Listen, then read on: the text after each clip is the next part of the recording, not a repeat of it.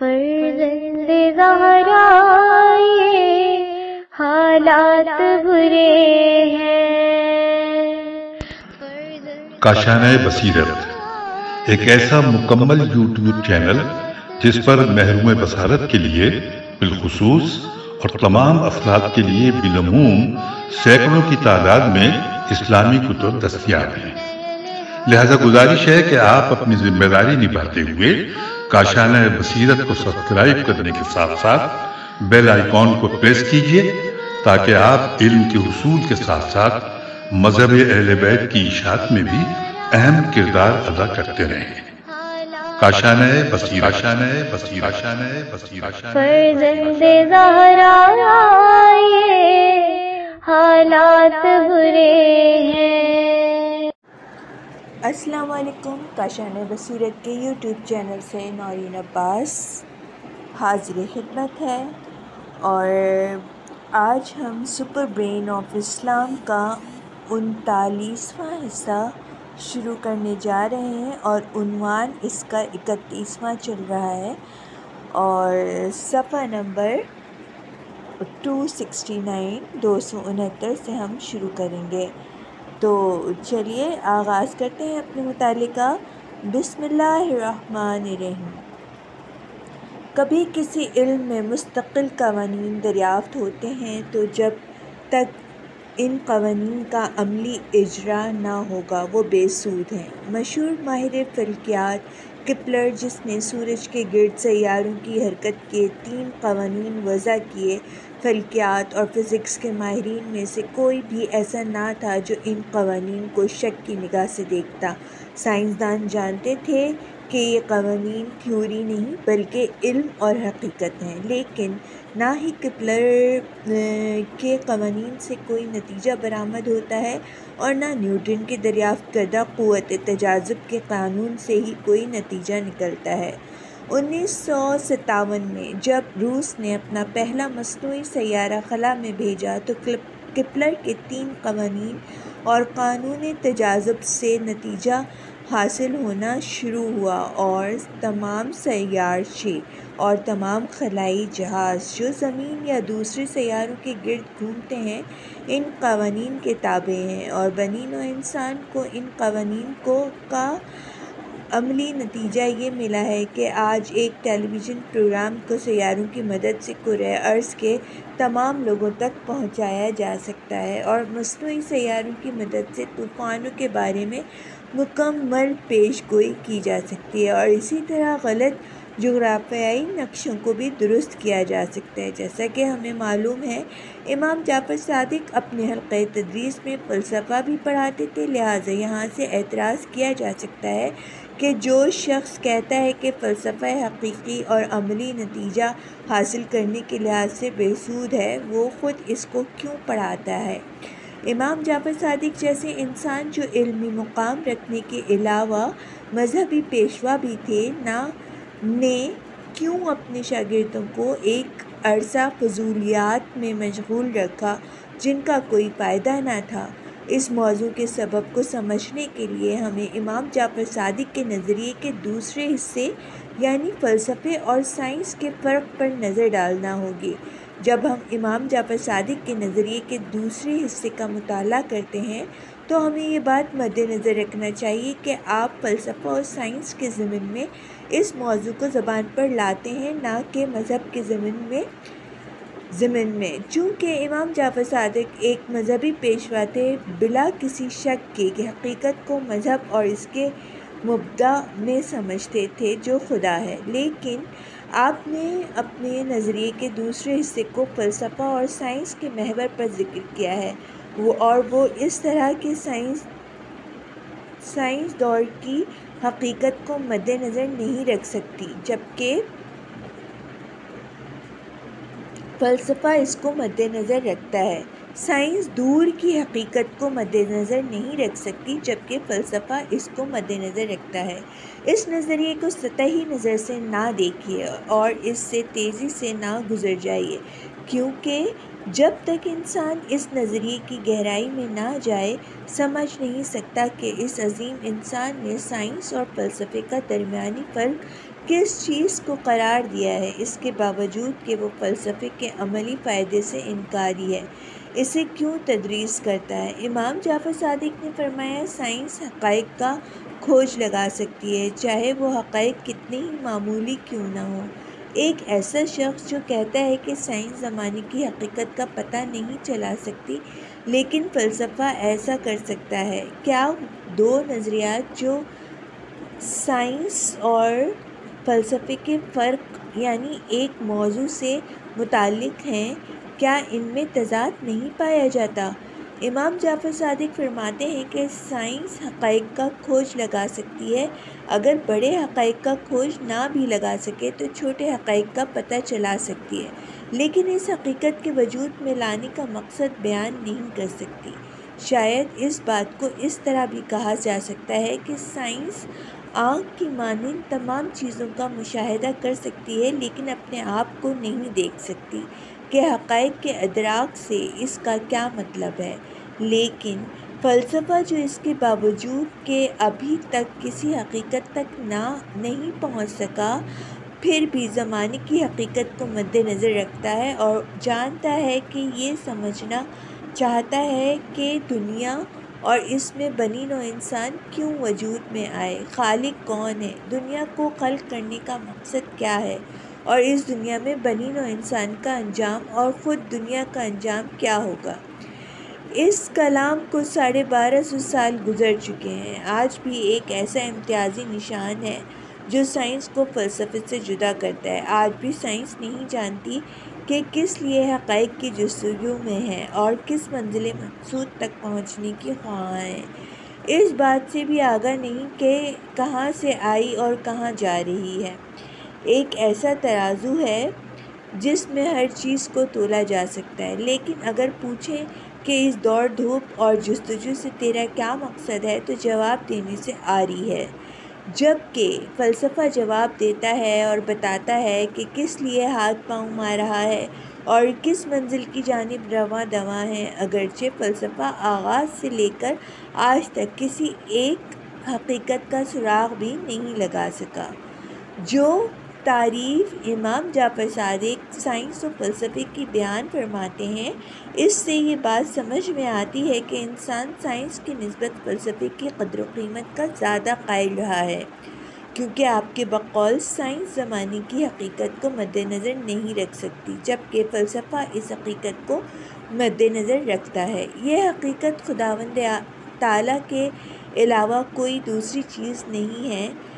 کیونکہ جب فلسفیانہ مراحل طے ہو گئے تو فلسفہ اس مرحلے میں داخل ہوتا ہے جہاں اس کے جاننے کی ضرورت ہے کہ خداوند تعالیٰ کون ہے، اس کے تخلیق کرنے کا مقصد کیا ہے اور اس خلقت کا آخری نتیجہ کیا ہوگا۔ بس جیسا کہ ہم آج فلسفے کو سمجھتے ہیں اور وہ یہ ہے کہ فلسفہ امام جعفر صادق کی نظر میں خداوند تعالیٰ کی طرف رہنمائی کرتا ہے، جبکہ سائنس اس طرح کی رہنمائی نہیں کرتی۔ بس اگر سائنس کے عمومی معنی ہی مراد لیں یعنی دانائی، تو اس صورت میں سائنس فلسفے میں بھی شامل ہو جاتی ہے۔ یہاں اس نقطے کا ذکر ضروری ہے کہ امام جعفر صادق جو توحید پرست اور ایک مذہبی پیشوا تھے خداون تعالیٰ کی معرفت کو مذہب کے ذریعے جائز سمجھتے تھے، نہ کہ فلسفے کے ذریعے۔ ہمیں معلوم ہے کہ پہلی صدی ہجری میں مذہب اسلام میں فلسفے کا وجود نہ تھا۔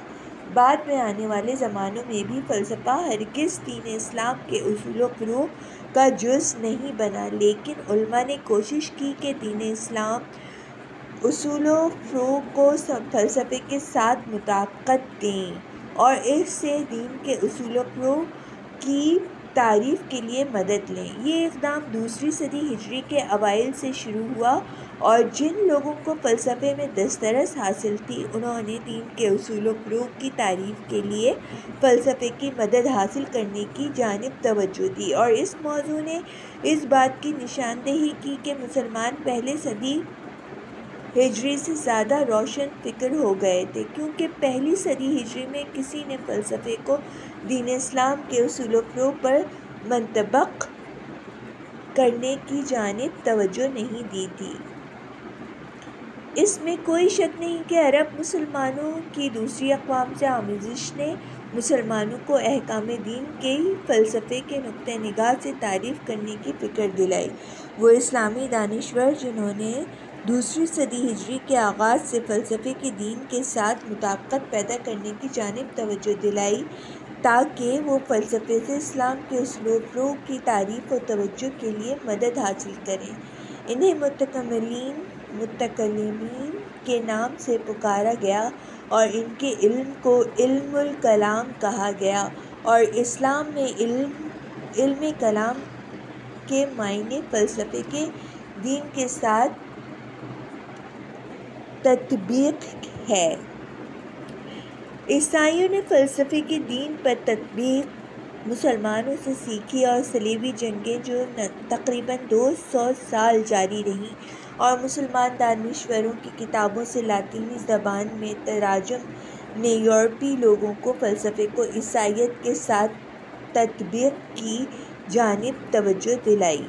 اگر صلیبی جنگیں نہ چھڑتیں تو شاید یورپی سترہویں صدی عیسوی تک مسلمانوں کے علوم سے بے خبر رہتے۔ جس طرح مشرقی سبزیوں اور پھلوں کی وہ اقسام جو اس سے پہلے یورپ میں کاشت نہیں ہوتی تھیں اس بر اعظم میں کاشت نہ ہوں۔ بعض یورپی دانشوروں نے مسلمان دانشوروں کی کتابوں کے تراجم پڑھنے کے بعد بہت کوشش کی کہ فلسفے کو مسیح کی تعلیمات پر منطبق کریں۔ اور آج ہم بلا شک و شبہ کہہ سکتے ہیں کہ عقیدے کے لحاظ سے جسم اور روح کی دوئی مسلمان متکلمین سے لی گئی ہے۔ جن لوگوں نے فلسفے کو مذہب پر منطبق کرنا مسلمانوں سے سیکھا ہے، ان میں ایک فرانسیسی مالبرانش بھی ہے جو سولہ سو اڑتیس میں پیدا ہوا اور سترہ سو پندرہ میں فوت ہوا۔ یہ شخص جس نے مسلمانوں سے رہنمائی حاصل کی کارتزیاں کے فلسفے کا حامی تھا۔ ڈیکارٹ کا فلسفہ یورپ میں اتنی تیزی سے پھیلا کہ سولہ سو پچاس جو ڈیکارٹ کا سال وفات ہے تک ڈیکارٹ کا فلسفہ تمام یورپی ممالک میں ایک قابل احترام مکتب کی حیثیت اختیار کر گیا تھا۔ ڈیکارٹ کے فلسفی مکتب کی بنیاد اس پر تھی کہ تمام چیزوں کو شک کی نگاہ سے دیکھنا چاہیے۔ ڈیکارٹ کہتا تھا، کوئی چیز ایسی نہیں ہے جس میں شک نہیں کیا جا سکتا۔ اگر کوئی ہے تو وہ خود شک ہے۔ ظاہر ہے کہ جو شخص چیزوں کو شک کی نگاہ سے دیکھتا ہو، حضرت عیسیٰ کے آئین اور خداوند خداوند تعالیٰ کے وجود کو بھی شک کی نگاہ سے دیکھتا ہوگا۔ ہم یہ وضاحت اس لیے کر رہے ہیں تاکہ معلوم ہو جائے کہ مسلمانوں میں متکلمین کے نظریات کس قدر مؤثر تھے کہ مالبرانش جیسا شخص جو ڈیکارٹ کے فلسفی مکتب کا مرید تھا، اس سے متاثر ہوا۔ کارتوزیان کے فلسفی مکتب کو وجود میں لانے کے لحاظ سے ڈیکارٹ اتنا مشہور ہے کہ لوگوں کو گمان بھی نہیں کہ وہ ایک فلسفی نہیں تھا، بلکہ ریاضی دان اور فوج کا افسر تھا۔ ڈیکارٹ نے ریاضی اور روشنی پر تحقیق کے بارے میں چند قوانین وضع کیے، جن کا نام اس کے نام پر کارتزیاں کے قوانین ہیں۔ لیکن ماہرین کے علاوہ کسی اور کو ان قوانین کے بارے میں کوئی اطلاع نہیں۔ فلسفے میں ڈیکارٹ کی شہرت اتنی زیادہ ہے کہ علم ریاضی اور روشنی کا مطالعہ اس کے سامنے مان پڑ چکا ہے۔ ڈیکارٹ کی وفات کے وقت اس کے فلسفی مکتب کا مرید مال برانش بارہ سال کا تھا جو تھا، وہ جو ہی بلوغت کو پہنچا ڈیکارٹ کے فلسفی نظریے نے اس پر گہرا اثر ڈالا اور اس کی کتابوں میں سے ایک، جس کا نام حقیقت کی جستجو ہے ڈیکارٹ کے فلسفے کی تحقیق کی روشنی سے متعلق لکھی گئی ہے۔ چونکہ مالبرانش ڈیکارٹ کے فلسفی مکتب کا پیروکار تھا، اسے فلسفے کو دین عیسیٰ پر تطبیق کرنا چاہیے تھا، لیکن اس کی روش سے محسوس ہوتا ہے کہ وہ مسلمان متکلمین کے نظریات سے متاثر ہے۔ مسلمان متکلمین نے فلسفے کی دین اسلام کے اصول و فروع پر تطبیق کی۔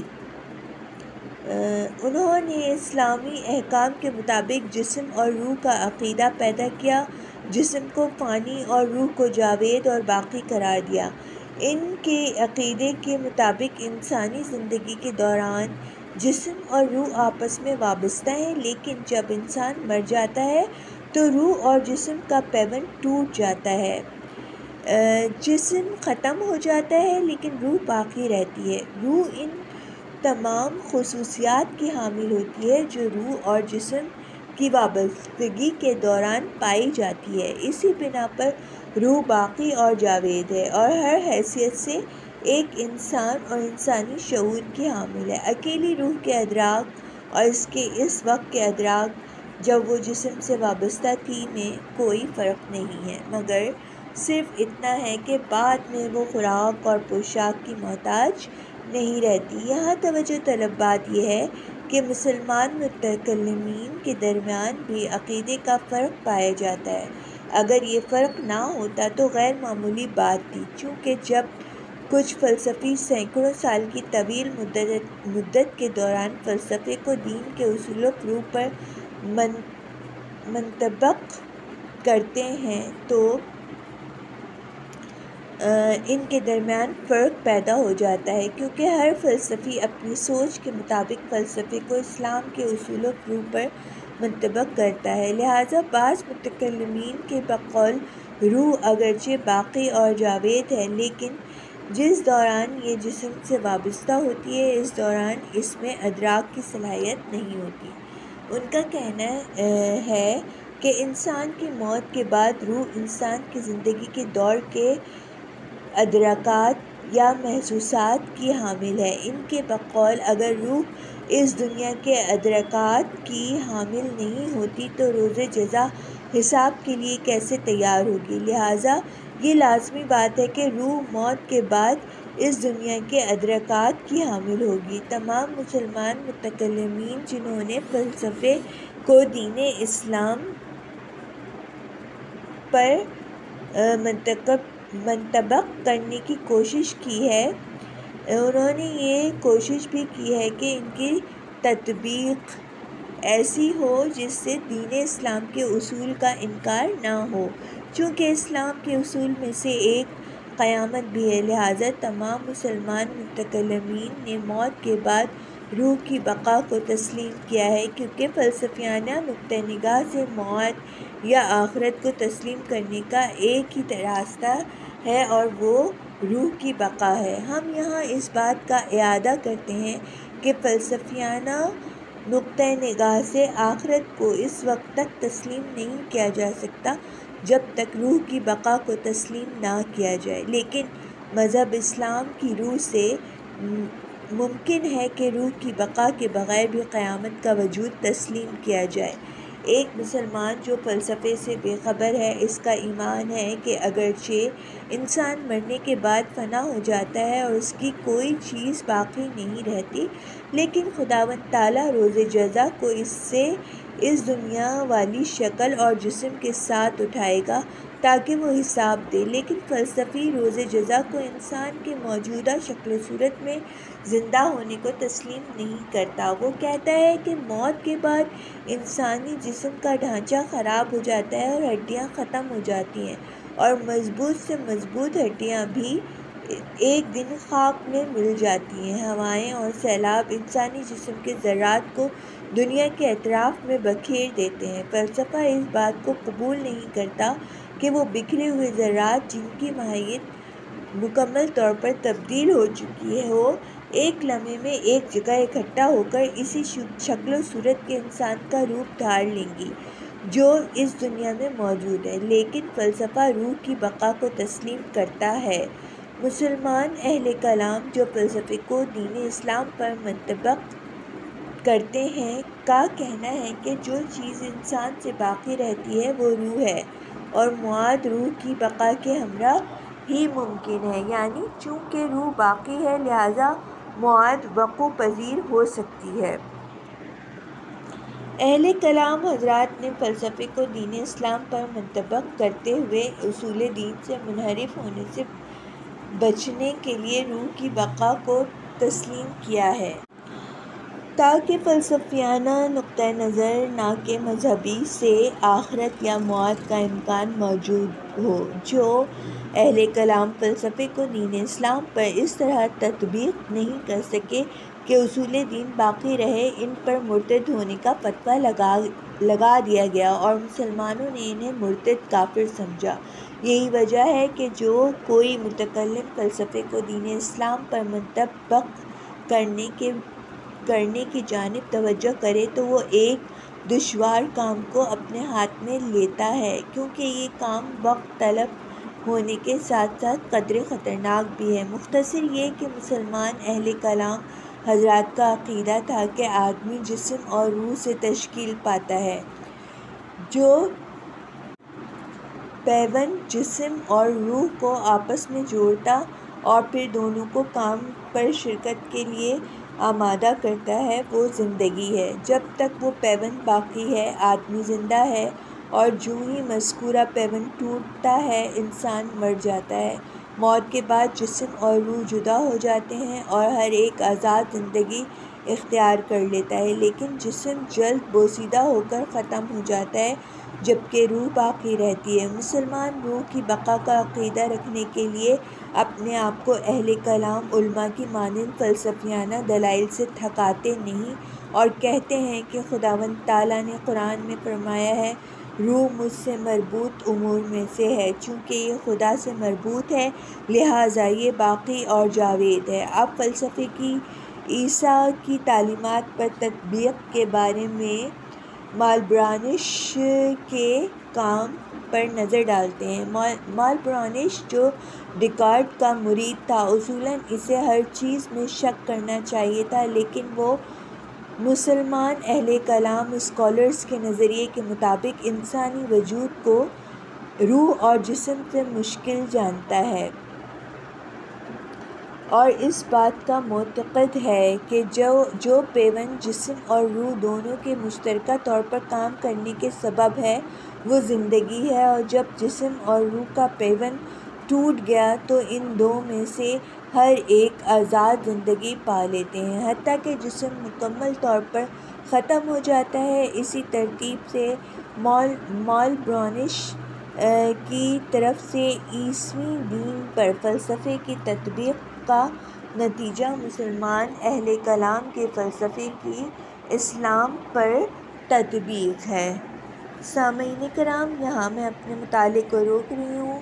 یہاں پہ عنوان بھی ختم ہو چکا ہے۔ یہاں اکتیسواں عنوان جو ہم نے شروع کیا تھا، وہ یہاں پہ اختتام پذیر ہوا اور ابھی میں موجود ہوں دو سو چوہتر صفحہ نمبر دو سو چوہتر پہ۔ انشاءاللہ دوبارہ حاضر ہوتے ہیں، جب تک کے لیے خدا حافظ۔